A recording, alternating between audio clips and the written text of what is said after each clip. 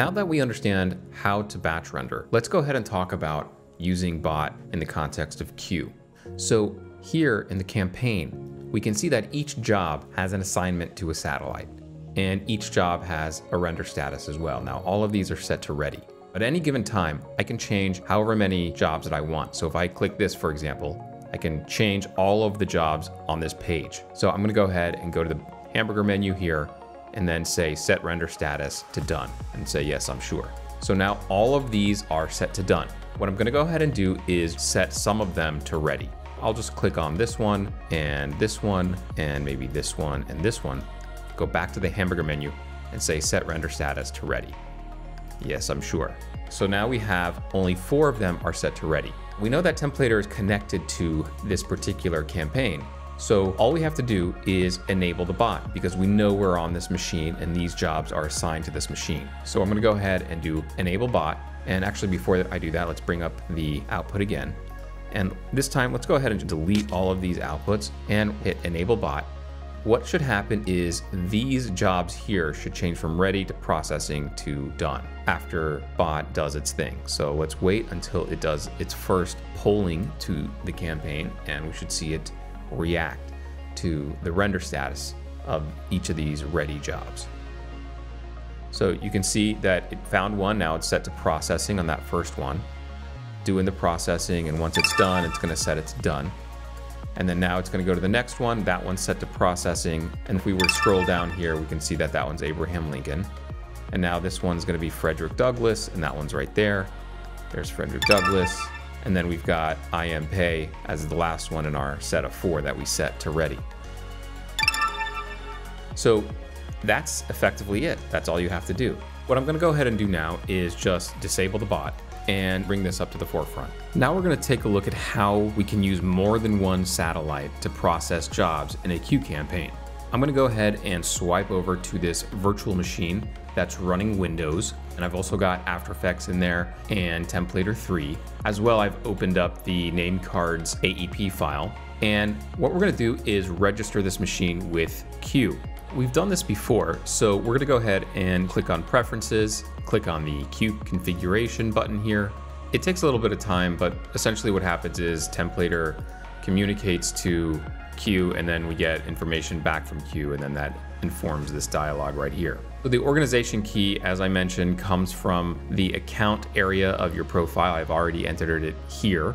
And we're gonna go ahead and just click on register. What'll happen is information about the machine will go up to QUE and then it'll tell me that there is a new QUE satellite that's been registered and here's the ID. I'm gonna go ahead and click OK and we can see that it's registered because we have some of this information coming down from our QUE account and I believe if we click on this we can see whether or not that's actually created. So let's go ahead and click on satellites and there we go. There's our Aholiab Win 10. That's the name of this virtual machine. You can see that it is inactive and if we open it up, there's no host info or an engine info.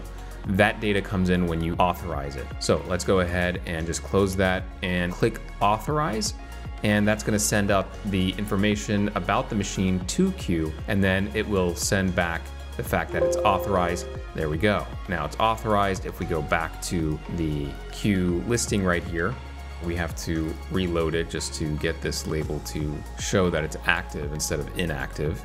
There we go. Now when we open it up, we can see all the information about this machine is right here. It's authenticated. We have a long-lived token so that we can ensure this machine can get access to the data. So I'm gonna go ahead and cancel and click OK. Now what we're gonna do is make sure that this template is connected to our QUE campaign that we've been working on. So we go over here and we click on the QUE emblem and the batch assets group. That's gonna bring up the QUE campaign setup dialog and we're gonna click on the screencast demo and click link campaign. So let's just make sure that data is coming through. So we're gonna go ahead and click on our magnifying glass here and go to the QUE inspector just to make sure that we are getting data. And it looks like we are. So let's go ahead and hit cancel and enable bot right here. Go ahead and click that and that should enable the bot. The bot assigned to satellite Aholiab Win 10 is now enabled. So go back to the Mac side and we're gonna do the same thing. We're gonna enable the bot here. And so now both of our bots are enabled.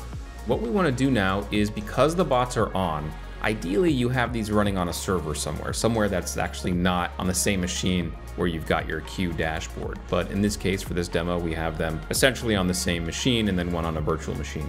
So what we're gonna do is just control the data and then the bots will pick up whatever is assigned to them and whichever ones are ready. So let's go ahead and every other one here, we are going to assign to Aholiab for processing. So we go to set satellite and we go to Aholiab, win 10 and say yes. These jobs are now assigned to that satellite, but now what we're gonna do is set the render status for this top row all the way down to this one right here to ready. So let's go ahead and just enable all of these guys. And now we're gonna set these to ready. And now we're gonna just watch the magic happen.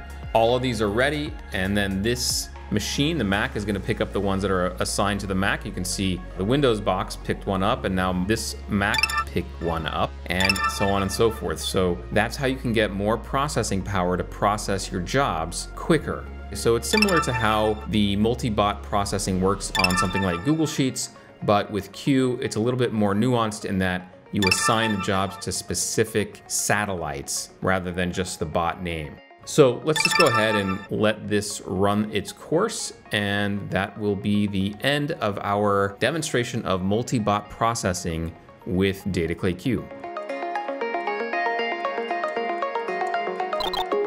Thank you so much for watching. Feel free to click around to learn more and subscribe to our channel so you can learn the latest techniques for automating your video production process.